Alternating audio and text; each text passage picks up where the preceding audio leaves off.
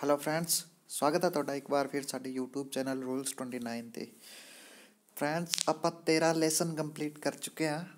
Punjab board ਦੀਆਂ ਕਿਤਾਬਾਂ ਜੋ ਆਪਣਾ ਸਿਲੇਬਸ ਚੱਲੀ ਜਾਂਦਾ ਪੀਟੈਟ ਲਈ। ਤੇ ਅੱਜ ਆਪਾਂ 14 14ਵਾਂ ਲੈਸਨ ਜੋ ਹੈ ਕਰਾਂਗੇ ਜਿਹਦਾ ਨਾਮ ਹੈ ਭਾਰਤ 200 ਈਸਾ ਪੂਰਵ ਤੋਂ 300 ਈਸਵੀ ਤੱਕ। ਤੇ ਇਸ ਲੈਸਨ ਨੂੰ ਕਰਾਂਗੇ।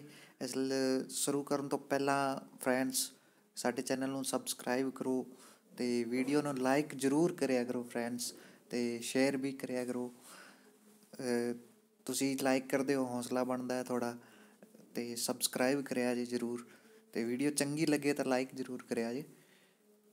ਤਾਂ ਪਹਿਲਾ ਜੋ ਕੁਐਸਚਨ ਹੈ ਉਹ ਵੇਖਦੇ ਆਪਾਂ। ਵਿਦਿਆਂਚਲ ਪਰਬਤ ਦੇ ਨਰਮਦਾ ਨਦੀ ਦੇ ਦੱਖਣੀ ਇਲਾਕੇ ਨੂੰ ਦੱਕਣ ਕਿਹਾ ਜਾਂਦਾ ਹੈ। ਤਾਂ ਇਸ ਗੱਲ ਦਾ ਧਿਆਨ ਰੱਖਿਆ ਜੀ, ਜਿਹੜਾ ਵਿਦਿਆਂਚਲ ਪਰਬਤ ਅਤੇ ਨਰਮਦਾ ਨਦੀ ਹੈ, ਉਹਨਾਂ ਦੇ ਦੱਖਣੀ ਇਲਾਕੇ ਨੂੰ ਦੱਕਣ ਕਿਹਾ ਜਾਂਦਾ ਹੈ।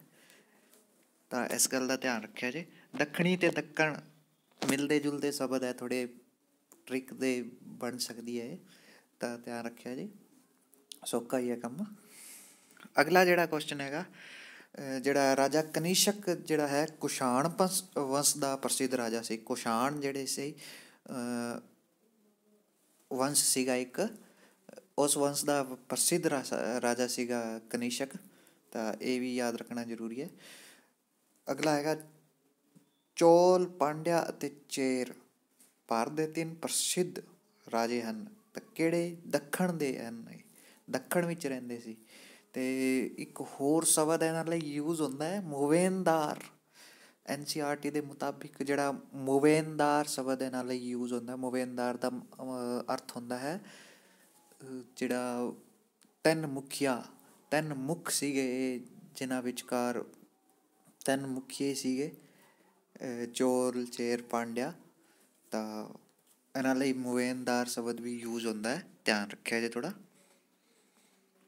ਅਗਲਾ ਨੰਬਰ 4 ਵੇਖਦੇ ਆ ਗੌਤਮੀ ਪੁੱਤਰ ਸਤਕਰਨੀ ਇੱਕ ਮਹਾਨ ਸਾਤਵਾ, ਸਾਤਵਾਹਨ ਸ਼ਾਸਕ ਸੀ। ਤਾਂ ਗੌਤਮੀ ਪੁੱਤਰ ਜਿਹੜਾ ਸਤਕਰਨੀ ਸੀ, ਸਾਤਵਾਹਨ ਸ਼ਾਸਕ ਸੀ। ਇਹ ਧਿਆਨ ਰੱਖਿਆ ਜੇ। ਉਸਨੇ 106 ਈਸਾ ਤੋਂ 130 ਈਸਵੀ ਤੱਕ ਰਾਜ ਕੀਤਾ। ਇਹ ਨਹੀਂ ਪੁੱਛਿਆ ਜਾਂਦਾ ਕਿ ਕਦੋਂ ਤੋਂ ਕਦੋਂ ਤੱਕ ਰਾਜ ਕੀਤਾ। ਪਰ ਇਹ ਜ਼ਰੂਰ ਪੁੱਛ ਲਿਆ ਜਾ ਸਕਦਾ ਹੈ ਕਿ ਗੌਤਮੀ ਪੁੱਤਰ ਜਿਹੜਾ ਸਤਕਰਨੀ ਹੈ, ਉਹ ਕਿਹੜੇ ਵੰਸ਼ ਦਾ ਸੀ? ਸਾਤਵਾਹਨ ਵੰਸ਼ ਦਾ ਸੀ। ਤਾਂ ਇਸ ਦਾ ਧਿਆਨ ਰੱਖਿਆ ਜੀ। ਦੱਖਣ ਵਿੱਚ ਮੌਰਿਆ ਦੇ ਪ੍ਰਸਿੱਧ ਸ਼ਾਸਕ ਸਾਤਵਾਹਨ ਸਨ, ਜਿਨ੍ਹਾਂ ਨੇ ਲਗਭਗ 300 ਸਾਲ ਤੱਕ ਰਾਜ ਕੀਤਾ। ਤਾਂ ਇਹ ਵੀ ਲਗਭਗ ਨਹੀਂ ਪੁੱਛਿਆ ਜਾਂਦਾ। ਇਹ ਪੁੱਛ ਸਕਦੇ ਹੈ ਕਿ ਜਿਹੜੇ ਦਕਸ਼ਣਾ ਪੱਥ ਦੇ ਸ਼ੌਮੀ ਸੀਗੇ ਸਾਤਵਾਹਨ ਸੀਗੇ, ਉਹਨਾਂ ਨੂੰ ਦਕਸ਼ਣਾ ਪੱਥ ਦੇ ਸ਼ੌਮੀ ਆਖਿਆ ਜਾਂਦਾ ਸੀ। ਇਹ ਪੁੱਛ ਲਿਆ ਜਾਂਦਾ ਕਿ ਦਕਸ਼ਣਾ ਪੱਥ ਦੇ ਸ਼ੌਮੀ ਕਿਹੜੇ ਸੀ? ਤਾਂ ਉਹ ਸਾਤ ਸਾਤਵਾਹਨ ਸੀਗੇ। ਅਗਲਾ ਜਿਹੜਾ ਹੈ, ਨੰਬਰ 6 ਉਹ ਵੇਖਦੇ ਆਪਾਂ। ਗੋਤਮੀ ਪੁੱਤਰ ਸਤਕਰਨੀ ਦਾ ਉੱਤਰ ਅਧਿਕਾਰੀ ਕੌਣ ਸੀ? ਤਾਂ ਇਸ ਦਾ ਸੀ ਵਸਿਸ਼ਟੀ ਪੁੱਤਰ ਪੁਲਮਾਵੀ। ਇਹ ਯਾਦ ਰੱਖਣ ਵਾਲੀਆਂ ਗੱਲਾਂ ਨੇ ਸਾਰੀਆਂ।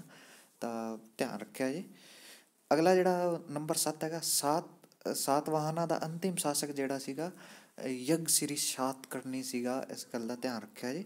ਅੰਤਿਮ ਸ਼ਾਸਕ ਜਿਹੜਾ ਪੁੱਛ ਲੈਂਦੇ ਆ ਸਾਤਵਾਹਨ ਯਾਨੀ ਕਿ ਸਾਤ ਹੀ ਉਹਦੇ ਸਤਕਰਨੀ 'ਚ ਵੀ ਸਾਤ ਪਹਿਲਾਂ ਆਉਂਦਾ ਹੈ ਤੇ ਸਤਵਾਹਨ 'ਚ ਵੀ ਸਾਤ ਪਹਿਲਾਂ ਆਉਂਦਾ ਤਾਂ ਇਹ ਟ੍ਰਿਕ ਨਾਲ ਥੋੜਾ ਯਾਦ ਕੀਤਾ ਜਾ ਸਕਦਾ ਹੈ। ਅਗਲਾ ਨੰਬਰ 8 ਹੈਗਾ। ਸਾਤਵਾਹਨ ਸਮਾਜ ਵਿੱਚ ਪਿੰਡੂ ਇਲਾਕਿਆਂ ਦਾ ਰਾਜ ਪ੍ਰਬੰਧ ਗੋਲਮੀ ਕਾਸ ਦੁਆਰਾ ਚਲਾਇਆ ਜਾਂਦਾ ਸੀ। ਇਹ ਇੱਕ ਕੋਈ ਪ੍ਰਣਾਲੀ ਵਗੈਰਾ ਸੀਗੀ ਸ਼ਾਇਦ। ਇਸ ਦੁਆਰਾ ਚਲਾਇਆ ਜਾਂਦਾ ਸੀ, ਪਰ ਇਸ ਨੂੰ ਯਾਦ ਰੱਖਿਆ ਜੇ, ਜਿਹੜਾ ਪਿੰਡਾਂ ਦਾ ਸ਼ਾਸਕ ਸੀ, ਉਹ ਇਸ ਕਰਕੇ ਚਲਾਇਆ ਜਾਂਦਾ ਸੀ। ਇਸ ਗੱਲ ਦਾ ਧਿਆਨ ਰੱਖਿਆ ਜੇ। ਤੇ ਫਰੈਂਡਸ ਵੀਡੀਓ ਨਾ ਆਖਿਰ ਤੱਕ ਵੇਖਿਆ ਕਰੋ। ਆਪਾਂ ਕੁਐਸਚਨ ਜਿਹੜੇ ਡਿਸਕਸ ਕਰਦੇ ਆ ਇਹਦੇ 'ਚ। ਲਗਭਗ ਆਪਣੇ ਜੇਕਰ ਆਪਾਂ 15 ਕੁਐਸਚਨ ਕਰਦੇ ਆ, ਤਾਂ 20 25 ਕੁਐਸਚਨ ਆਪਣੇ ਹੋ ਜਾਂਦੇ ਆ। ਕਿਉਂਕਿ ਇੱਕ ਦੋ ਕੁਐਸਚਨ ਆਪਾਂ ਡਿਸਕਸ ਕਰ ਲੈਂਦੇ ਆ, ਇੱਕ ਕੁਐਸਚਨ ਜੋ ਵਿੱਚ ਤਾਂ ਸੌਰੀ ਫਰੈਂਡਸ ਜਿਹੜਾ ਅਗਲਾ ਜਿਹੜਾ ਕੁਐਸਚਨ ਹੈ, ਉਹ ਵੇਖਦੇ ਆ ਫਰੈਂਡਸ ਕੁਐਸਚਨ ਨੰਬਰ 9 ਹੈਗਾ। ਸਾਤਵਾਹਨ ਸਮਰਾਜ ਵਿੱਚ ਜ਼ਿਲ੍ਹਿਆਂ ਨੂੰ ਕੀ ਕਿਹਾ ਜਾਂਦਾ ਸੀ? ਇਹ ਪੁੱਛ ਲਿਆ ਜਾਂਦਾ ਬਹੁਤ ਵਾਰ। ਆਹਾਰਾਸ ਕਿਹਾ ਜਾਂਦਾ ਸੀ। ਆਹਾਰਾਸ ਸਾਤਵਾਹਨ ਸਮੇਂ ਜ਼ਿਲ੍ਹਿਆਂ ਨੂੰ। ਸਾਤਵਾਹਨ ਰਾਜੇ ਕਿਸ ਧਰਮ ਦੇ ਅਨੁਆਈ, ਹਿੰਦੂ ਧਰਮ ਦੇ ਅਨੁਆਈ ਸੀ? ਇਸ ਗੱਲ ਦਾ ਧਿਆਨ ਰੱਖਿਆ ਜੀ। ਪਾਂਡਿਆਂ ਦੀ ਜਿਹੜੀ ਰਾਜਧਾਨੀ ਸੀ, ਉਹ ਕਿਹੜੀ ਸੀ? ਮਦੁਰੇ ਸੀ। ਪਾਂਡਿਆਂ ਦੀ ਜਿਹੜੀ ਰਾਜਧਾਨੀ ਸੀ, ਉਹ ਮਦੁਰੇ ਸੀ।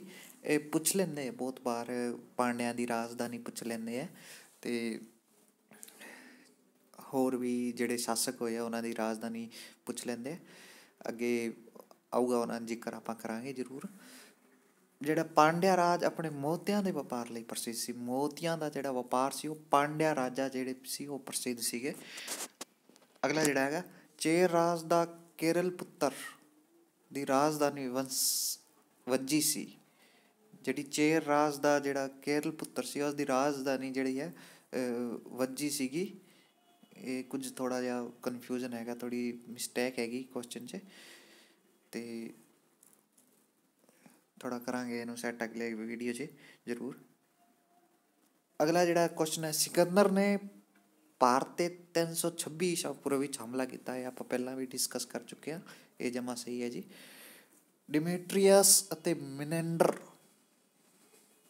ਕੌਣ ਸੀ ਇਹ ਹਿੰਦ, ਯੂਨਾਨੀ ਸੀਗੇ, ਇੰਡੋ ਗ੍ਰੀਕ ਹਮਲਾਵਰ ਸੀਗੇ, ਬਾਰੀ ਜਿਹੜੇ ਸੀਗੇ।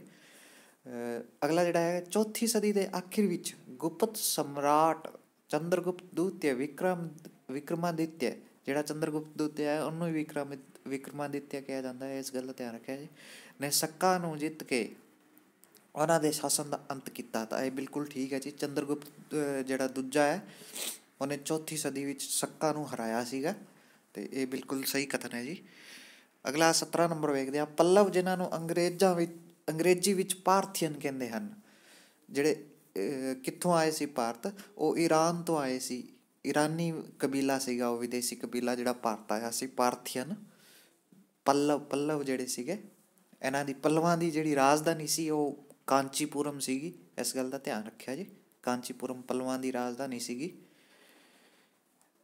ਤੇ ਜਿਹੜੇ ਚਾਲੁਕਿਆ ਵੀ ਜ਼ਿਕਰ ਆਉਂਦਾ ਉਹਨਾਂ ਦਾ, ਚਾਲੁਕਿਆਂ ਦੀ ਰਾਜਧਾਨੀ ਸ਼ਾਇਦ ਇਹ ਹੋਲ ਸੀਗੀ। ਇਹ ਥੋੜਾ ਆਪਾਂ ਕਨਫਰਮ ਕਰਕੇ ਦੱਸਾਂਗੇ। 99% ਜਿਹੜਾ ਹੈ ਇਹ ਹੋਲ ਹੀ ਸੀਗੀ ਉਹਨਾਂ ਦੀ ਰਾਜਧਾਨੀ। ਗੋਡੋ ਫਰਨਨੀਜ਼ ਜਿਹੜਾ ਹੈ ਪੱਲਵ ਵੰਸ਼ ਦਾ ਇੱਕ ਮਸ਼ਹੂਰ ਰਾਜਾ ਸੀਗਾ। ਇਹ ਥੋੜਾ ਧਿਆਨ ਰੱਖਿਆ ਹੈ ਅਗਲਾ ਜਿਹੜਾ 19 ਨੰਬਰ ਵੇਖਦੇ ਆ ਕੁਸ਼ਾਣ ਵੰਸ਼ ਦੇ ਰਾਜਾ ਕੁਜਲ ਕਨਫਿਸਿਸ ਨੇ ਪੰਜਾਬ ਤੇ ਅਧਿਕਾਰ ਕਰ ਲਿਆ। ਇਹ ਧਿਆਨ ਰੱਖਿਆ ਜੀ, ਇਹ ਬਹੁਤ ਜ਼ਰੂਰੀ ਹੈ ਕਿਉਂਕਿ ਪੰਜਾਬ ਬਾਰੇ ਕੁਐਸਚਨ ਕਦੋਂ ਵੀ ਪੁੱਛਿਆ ਜਾ ਸਕਦਾ ਹੈ ਪੀਟੈਟ ਤੇ ਜ਼ਿਆਦਾਤਰ। ਤੇ ਕੁਸ਼ਾਣ ਜਿਹੜੇ ਸੀਗਾ, ਕੁਸ਼ਾਣ ਰਾਜਾ ਜਿਹੜਾ ਸੀਗਾ ਕੁਜਲ ਕਨਫਿਸਿਸ ਉਹਨੇ ਪੰਜਾਬ ਤੇ ਅਧਿਕਾਰ ਕੀਤਾ ਸੀ। ਇਸ ਗੱਲ ਦਾ ਧਿਆਨ ਰੱਖਿਆ ਜੀ। ਨੰਬਰ 20 ਵੇਖਦੇ ਆਪਾਂ। ਕਨਿਸ਼ਕ ਨੇ ਚੌਥੀ ਬੁੱਧ ਸਭਾ ਬੁਲਾਈ ਸੀ। ਇਹ ਬਿਲਕੁਲ ਠੀਕ ਹੈ ਜੀ। ਕਨਿਸ਼ਕ ਨੇ ਬੁਲਾਈ ਸੀ ਚੌਥੀ ਬੁੱਧ ਸੁਭਾਅ ਬੁੱਧ ਸੁਭਾਵਾਂ ਜਿਹੜੀਆਂ ਨੇ, ਚਾਰ ਬੁੱਧ ਸਭਾਵਾਂ ਹੋਈਆਂ ਨੇ ਅੱਜ ਤੱਕ। ਤੇ ਚੌਥੀ ਜਿਹੜੀ ਸੀਗੀ ਕਨਿਸ਼ਕ ਨੇ ਬੁਲਾਈ ਸੀ। ਨੰਬਰ 21 ਵੇਖਦੇ ਆਪਾਂ। ਪੁਸ਼ਾਮਿੱਤਰ ਨੇ ਮੌਰਿਆ ਵੰਸ਼ ਦੇ ਅਖੀਰਲੇ ਸ਼ਾਸਨ ਦੀ ਹੱਤਿਆ ਕਰਕੇ ਤੇ ਸੁਗਵੰਸ਼ ਦੀ ਜਿਹੜੀ ਸੁੰਗਵੰਸ਼ ਹੈ, ਉਹਦੀ ਸਥਾਪਨਾ ਨਹੀਂ ਰੱਖੀ ਸੀ। ਤੇ ਇਸ ਗੱਲ ਦਾ ਧਿਆਨ ਰੱਖਿਆ ਜੀ।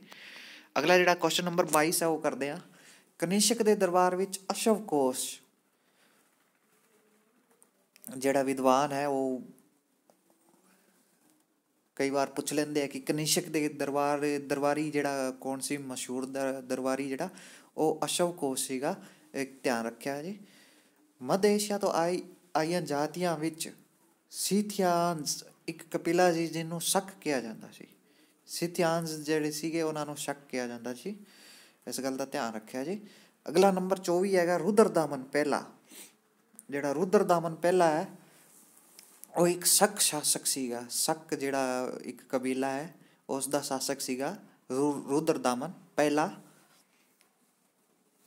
ਅਗਲਾ ਜਿਹੜਾ ਕੁਐਸਚਨ ਹੈ, ਯੂਨਾਨ ਵਿੱਚ ਭਾਰਤੀ ਮਿਲੀ ਜੁਲੀ ਕਲਾ ਨੂੰ ਗੰਧਾਰ ਕਲਾ ਦੇ ਕਲਾ ਦੇ ਨਾਂ ਨਾਲ ਜਾਣੇ, ਜਾਣਿਆ ਜਾਂਦਾ ਹੈ। ਇਹ ਠੀਕ ਹੈਗਾ ਜੀ ਕਥਨ। ਯੂਨਾਨ ਵਿੱਚ ਜਿਹੜੀ, ਇਸ ਗੱਲ ਦਾ ਧਿਆਨ ਰੱਖਿਆ ਜੇ, ਯੂਨਾਨੀ ਅਤੇ ਭਾਰਤੀ ਜਿਹੜੀ ਮਿਲੀ ਜੁਲੀ ਕਲਾ ਕਲਾ ਹੈ ਨਾ, ਉਹਨੂੰ ਗੰਧਾਰ ਕਲਾ ਕਿਹਾ ਜਾਂਦਾ ਇਹ ਕਲਾ ਬਾਰੇ ਕੁਐਸਚਨ ਆ ਜਾਂਦਾ ਹੈ ਪੀਟੀਐਟ 'ਚ ਬਹੁਤ ਵਾਰ। ਨੰਬਰ 26 ਹੈਗਾ ਵਸਿਸਿਕ, ਹੁਵਿਸਕ ਅਤੇ ਵਾਸ਼ੂਦੇਵ ਰਾਜੇ। ਕੌਣ ਸੀ? ਉਹ ਕੁਸ਼ਾਣ ਸੀਗੇ। ਇਸ ਗੱਲ ਦਾ ਧਿਆਨ ਰੱਖਿਆ ਜੀ। ਤੇ ਜੇ ਕੁਸ਼ਾਣਾ ਬਾਰੇ ਇੱਕ ਹੋਰ ਮਹੱਤਵਪੂਰਨ ਜਿਹੜਾ ਕੁਐਸਚਨ ਹੈਗਾ ਉਹ ਆ ਜਾਂਦਾ ਹੈ ਕਿ ਕਈ ਵਾਰ ਪੁੱਛ ਲੈਂਦੇ ਆ ਕਿ ਜਿਹੜਾ ਸਿਲਕ ਰੂਟ ਹੈਗਾ, ਸਿਲਕ ਰੂਟ ਇੱਕ ਰੂਟ ਹੈਗਾ, ਸਿਲਕ ਰੂਟ ਚੀਨ ਤੋਂ ਜਿਹੜਾ ਸਿਲਕ ਤਿਆਰ ਕੀਤਾ ਜਾਂਦਾ ਸੀ, ਰੇਸ਼ਮ ਤਿਆਰ ਕੀਤਾ ਉਹਦੇ ਲਈ ਜਿਹੜਾ ਬਣਿਆ ਸੀ, ਉਸ ਰੂਟ ਤੇ ਸਭ ਤੋਂ ਵੱਧ ਜਿਹੜਾ ਮਹੱਤਵਪੂਰਨ ਰਾਜਾ ਸੀਗੇ, ਕੁਸ਼ਾਣ ਸੀਗੇ ਰਾਜ ਕਰਨ ਵਾਲੇ, ਉਸ ਰੂਟ ਤੇ, ਇਸ ਗੱਲ ਦਾ ਧਿਆਨ ਰੱਖਿਆ ਜੀ, ਤੇ ਕੁਸ਼ਾਣਾ ਨੇ ਸੋਨੇ ਦੇ ਸਿੱਕੇ ਵੀ ਚਲਾਏ ਸੀ, ਇਸ ਗੱਲ ਦਾ ਵੀ ਧਿਆਨ ਰੱਖਿਆ ਜੀ, ਤੇ ਵੀਡੀਓ ਆਪਣੀ ਜਿਹੜੀ ਖਤਮ ਹੁੰਦੀ ਆ ਹੁਣ ਲੈਸਨ ਆਪਣਾ ਨੰਬਰ 14 ਪੂਰਾ ਹੋ ਗਿਆ। ਤੇ ਫਰੈਂਡਸ ਵੀਡੀਓ ਨੂੰ ਲਾਈਕ ਕਰਿਆ ਜੇ ਜੇ ਚੰਗੀ ਲੱਗੀ ਹੋਵੇ ਤੇ ਸਬਸਕ੍ਰਾਈਬ ਕਰਿਆ ਜੇ ਚੈਨਲ ਨੂੰ। ਧੰਨਵਾਦ ਫਰੈਂਡਸ